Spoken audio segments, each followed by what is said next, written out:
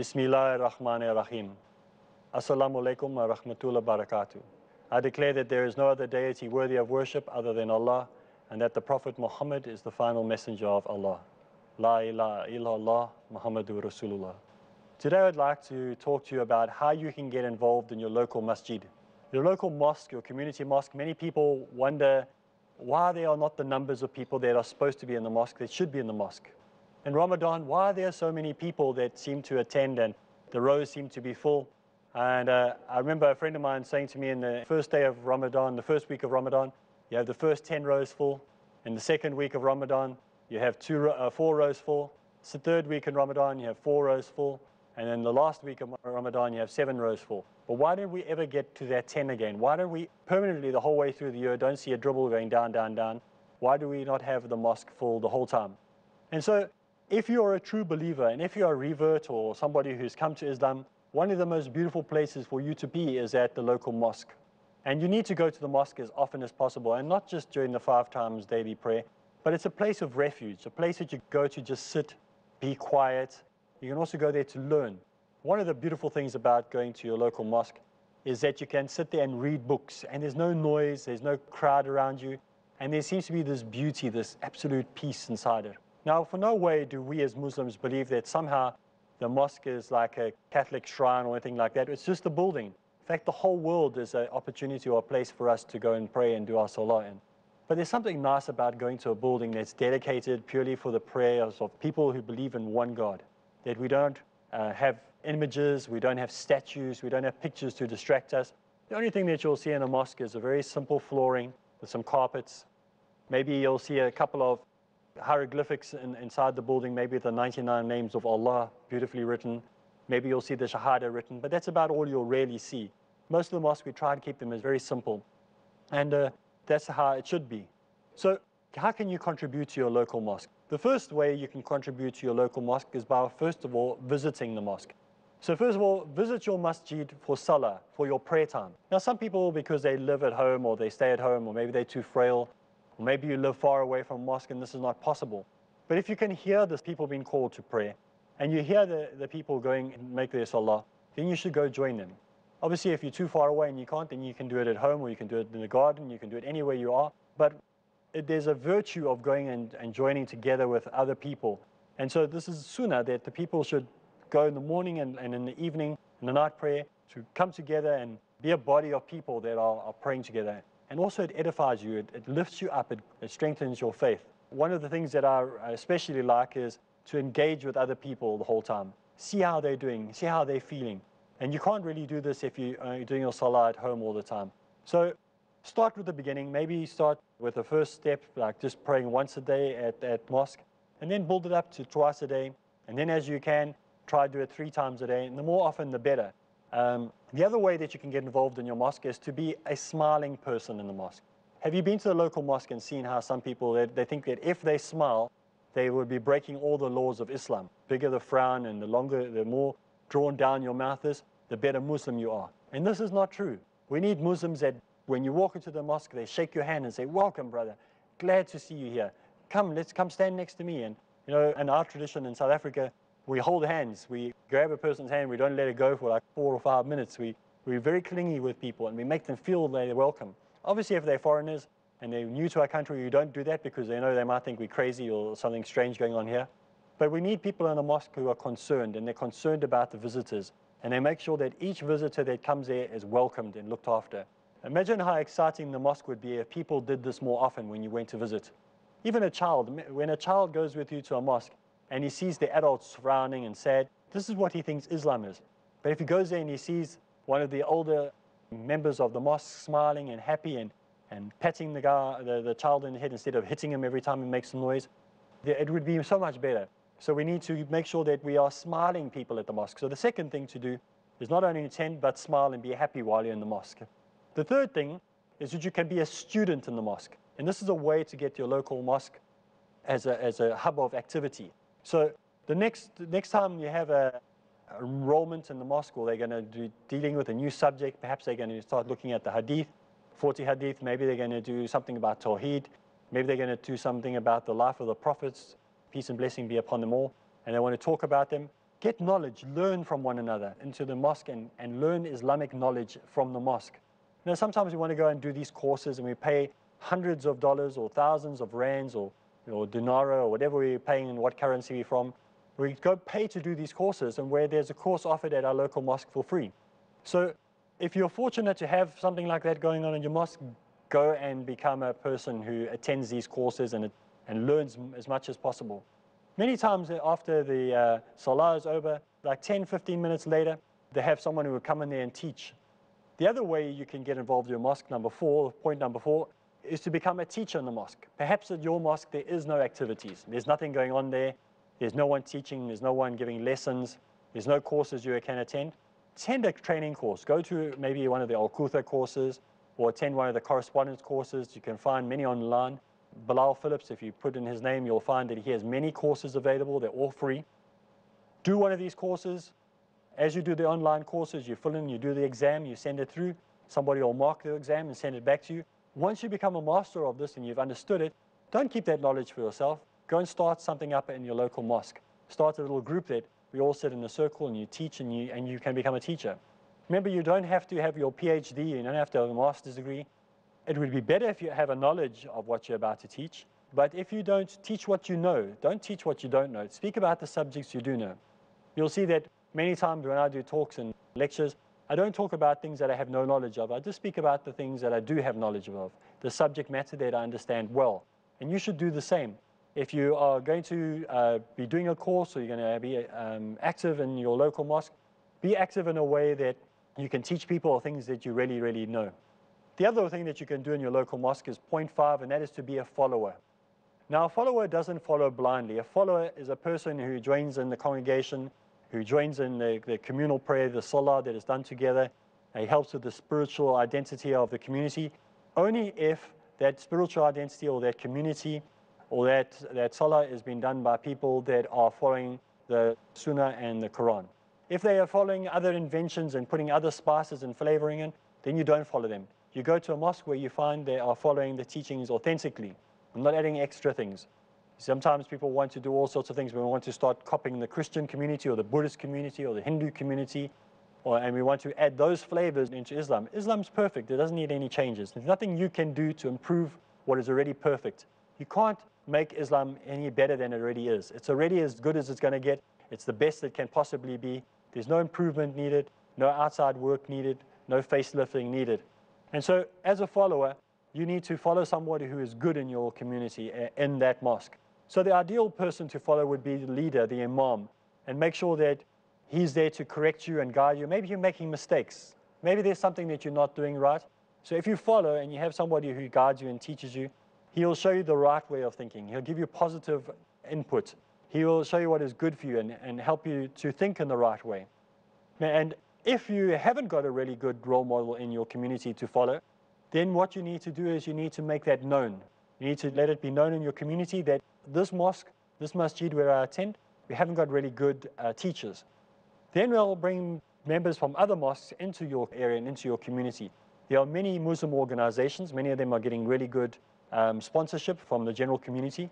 Remember that these uh, Muslim organizations, all of them, most of them, if not all of them, are financed by you. Every donation that you send them, every time you help them out financially, you are actually employing these people. So you have the right to call these people to come and do work in your mosques. So if there's a propagation center in your area or dawah organization in your area, if there's uh, any groups that are in your area and you want them to get involved in your local mosque, contact these people. You're actually employing them so they have an obligation to come and look after your mosque. So you can follow these people. Make sure you get good role models. Today we have uh, children who look in their bedrooms and you see what posters and pictures and CDs and DVDs and movies they're watching. Those are their role models. What is your role model? Who are you following? Are you following one of the great leaders of Islam? Are you looking at some of the great scholars of today? Some of the great teachers of today? We as um, lecturers and teachers and, and da'is, we have role models we follow. We follow the Sunnah and we follow the Quran, but we have humans that help us to live, you know, how to apply that. And we look at the example of these people and we say, wow, if I could be a little bit more like that. Some of my, my heroes, and I don't mind telling you who they are, uh, is like Bilal Phillips and many others like that. They're brilliant. They're such good role models and they're, they're solid people. Who are your role models? Find somebody to follow. We're going to take a short break, and when we get back, we'll continue looking at the 12 ideas that you can follow to make your mosque better. Bismillah ar-Rahman ar-Rahim. Assalamu alaikum wa barakatuh. Welcome back. We are looking at 12 ways to get active or involved in your local masjid. And we said that there are 12 ways, and the 12 ways we are going to look at, we've looked at six so far. The first one was be a visitor. In other words, attend mosque. The, way, the first way to get involved is actually to attend mosque. Like I said, start once a day, then twice a day, and then build up from there. Remember, Islam is a religion of gradualism. We take it step by step. If you're a new Muslim, don't worry, take it step by step. Go once a day, then twice a day, and three times a day, and build up. Doesn't mean that so that's the only time you do your salah. When you're at home, you do it. Uh, it's good to do it at home. It's good to do it in private so you don't show off. But to do it in the mosque or the community is very, very good. Second is to smile, be happy, be somebody who is an advert, who, who represents the community of, of happy Muslims, happy people. And we go there and we greet people, we get to make the children feel happy to be there. That's the second way. Third way is to be a student. In other words, go study with somebody in the mosque. Sometimes there's classes, five, ten minutes in the mosque. Just stay a few minutes afterwards and learn something. The fourth way is if you can be a teacher yourself. Maybe you can be a teacher and offer some teaching. And then the fifth way was to be a follower. In other words, if you've got a good imam, good teacher, follow his teachings, follow him, make sure you're answerable to somebody. And I said, if you haven't got a good teacher and you want to be a good follower, get somebody from one of the local Muslim communities who you're basically employing to come there and to look after the mosque so you can follow him. And the sixth thing was to be a leader. Now, to be a good leader, you need to be a good follower. I have a great teacher. My teacher is uh, Musaid Dawood. Musaid is my, my teacher. Wherever he tells me, I follow and I'll argue with him. Many times he tells me things and I'll argue with him. And two weeks later, I found out that what he said is right. So you, to have a good teacher means you can disagree, but you should listen to him, you should have respect for him, and you should be the type of teacher that wants you to go further. So once you become a good follower, then hopefully, inshallah, you'll become a good teacher. And so you'll become a good leader. So the next step, or the sixth step, is to be a good leader. To be a good leader, or to be a leader of any type, that means you have to be present, you have to be involved with projects, maybe outreach programs, maybe food scheme projects. You need to be involved. And one of the things that is important if you want to be a leader is to have self-control. In other words, there must be no arrogance in you, there must be no self-centeredness in you. You mustn't think you're more important than you are. I have noticed some people, and please forgive me because uh, Allah is my witness that I'm not meaning to refer to any human being that knows me. But I've noticed with some people that when they by themselves and you talk to them, they have this relaxed, very easy, approachable manner to them. But the minute they're with their friends of their own country or friends from their own region, that they become very pompous and proud. And sometimes you see them uh, almost as if they were, were kings or lords and they raise their hands and push their hands down like this for people to sit instead of saying, can you please sit down? Or they'll go with their hand like this to tell people to get out the way. I mean, these are things that we don't do as leaders. This is not what a leader does. A leader is compassionate, he's caring, he's loving, he's understanding of the people, and he does not act like that. It's actually terrible to imagine that somebody would even do that. And so if you know people who do that, and maybe you're one of those people who does that, think about changing that habit because it doesn't look very good for the person who's watching. So be a person who has no arrogance, that's not self-centered, and be careful of the skills that you've acquired, that you use them wisely. The next point I'd like to raise, or the seventh point, is to be a brother. Now, this word brother, we need to understand this word really well. We are all brothers, no matter what race, what, what, what heart, no matter what job you have, we're all brothers because when we stand in the congregation together and Surah Al-Fatiha is read and we all say Amin together, at that point we all become brothers. But we're brothers before that point as well. Some people believe that only when they say the Ameen after Surah Al-Fatiha, then we're brothers. But before that, we're not. We are brothers all the time, 24 hours a day, seven days a week. And if your brother calls you for help, you are to go help him. You don't try and push it off to somebody else. I remember at one point I used to do this with people. I say, whenever you're sick, or you need help, or you're in time of need, day or night, 24 hours a day, don't call me. And people always used to think they, I was going to say, call me. But sometimes we have to be careful because that's how we are. We say, no, no, brother, I'll help you anytime, day or night. But when they actually put us to the test and they ask for help, we know where to be found. We give an excuse why we can't help. So a brother is there for everybody. He's there for all the other brothers, not just for one person in particular.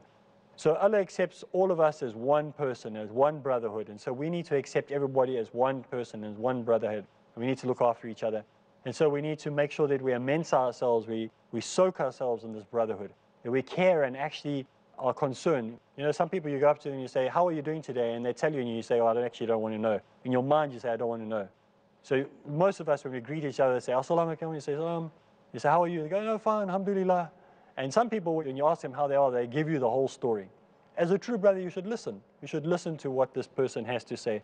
So we need to have love and understanding for each other. We need to accept each other and we need to love each other for the sake of Allah. Some people are difficult, some people are arrogant, some people are obnoxious, some people are overbearing. But these are the people that Allah has created. He's created every single person perfectly. And if they're brothers in Islam, they're your brother, and you have to treat them like that. Now it brings us to point eight. Point eight is to be a helper. The masjid is the best place to remember and practice the teachings of the Quran. Because sometimes when we're at home, we forget about these things.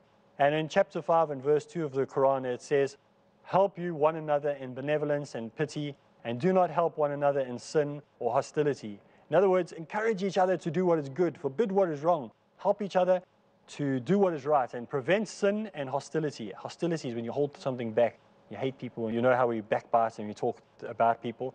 We mustn't do that. So what we need to do is we need to be a helper. What else can we do to help people along the way? How can we help people to, to become more righteous? How can we help people to be better? And so the masjid is the best place to, to remember and to practice the teachings of the Quran. You know, often we have halqas, a little meeting in the morning sometimes before we start work. And the halqa goes on for maybe 20 minutes or 25 minutes. And the minute the halqa is finished, people start scandaling and talking about each other and backbiting. And you think, wow, I mean, you've just finished talking about the beauty of Islam and now you're busy going back to the work of shaitan. And so one of the, the eighth point, we need to be a helper. We need to make sure that we practice in the mosque. We need to help each other and guide each other, see what we can do to encourage each other. The ninth point is one that often people don't like to hear, and that is to be a cleaner. To be a cleaner, what I mean is, I'm not talking in the spiritual sense of being a cleaner, I'm talking about the real sense of being a cleaner. Sometimes the mosque doesn't have the finances, the masjid doesn't have the finance, and even if they do, it takes you no time at all to help put, pack away the books, maybe put the Qurans away, pack the Qurans properly, maybe make sure that the books are dusted, because sometimes you open these cupboards in the, in the mosque or you're taking off the shelf, and there's this dust that flies everywhere. Help along when, in the mosque. Be a cleaner, be someone who can help. You know, um, help do little things. Maybe the bathrooms need to be cleaned and the person's not available. Don't say, oh, it's not my job, I don't do that. It's your job, it's your place to look after. You must look after it, you use it. In your home, you would pull your weight and you would help clean.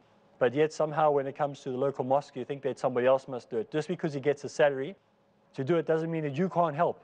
You must help. Your job is to go there and help in any way possible. Perhaps there's some documents or books that need to be passed around. Maybe you, uh, there's a meeting being organized. You can lay out the chairs or something in one of the halls around the, by the masjid. But get involved in the local masjid. Get involved in the mosque. And the best way to do that is to help by cleaning. And I guarantee if you go and you do a little bit of cleaning, the guy will also help somebody else or another person is there will also want to get involved in doing the same thing. So help with cleaning. It's, a, it's an important thing. And you'll suddenly realize how much work is actually done. Vacuuming those carpets. It's a big job. I've done it a few times myself, and so I know what it's like. Um, the windows need to be cleaned. It's nice to come into a mosque and have nice, clean windows. So get involved as much as possible.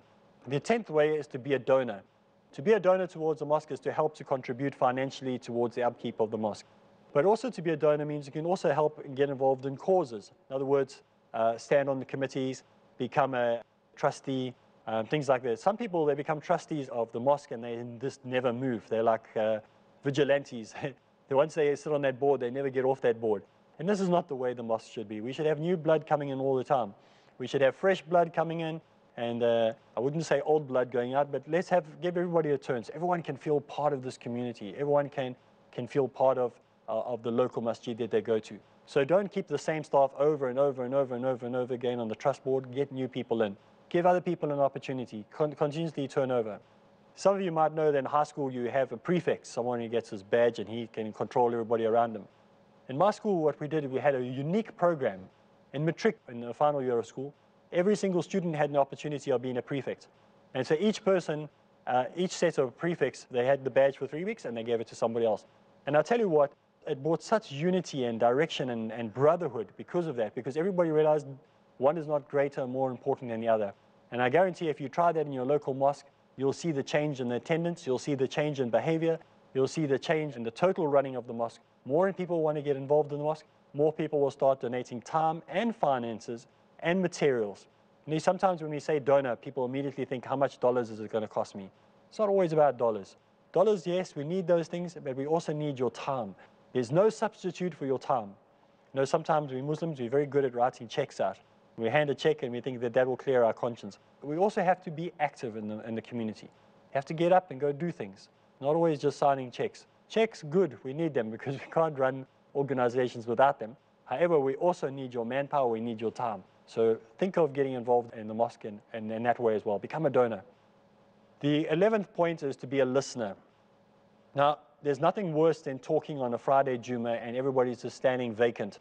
You just see these big for sale signs above their head or vacant or to let signs. You see nothing. It's just blank, blank faces looking at you. And you know that they're not listening. And when you ask them a question, you suddenly everyone wakes up because they know there's a question mark at the end of that and they only know how to wake up when there's a question mark.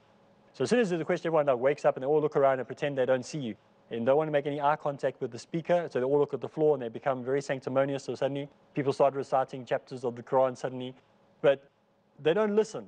And so when a speaker comes in, he might be boring. I'm not the best speaker in the world, and I know I'm, I'm quite, I've got this monotone, flat way of speaking. My brother says to me every time I start talking, he wants to fall asleep. So I know I have that voice. But come on, give us a chance. We, we're trying to get in. We, we want to tell you something. We want to teach you something. So be a listener. Uh, the best way to gain knowledge is to listen.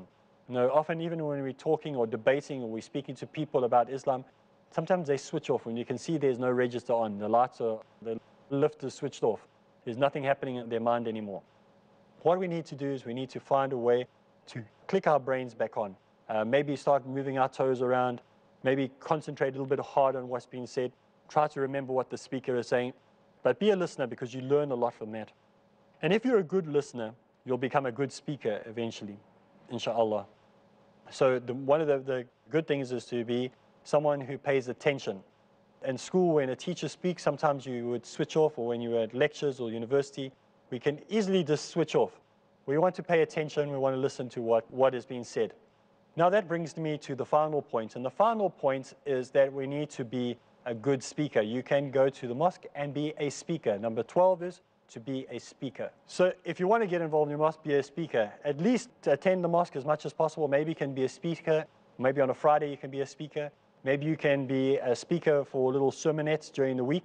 But learn to do it. Start slowly but surely. Don't do long sermons, just do small ones. So these are easy points that you can remember when you uh, join your local mosque. Do these things. These 12 steps are very easy to follow. It's a 12-step program. Get involved in your local mosque.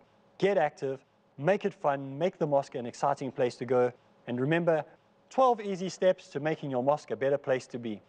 My name is Areeb Islam, and uh, thank you for listening to me, and inshallah we will meet again. Assalamu alaikum.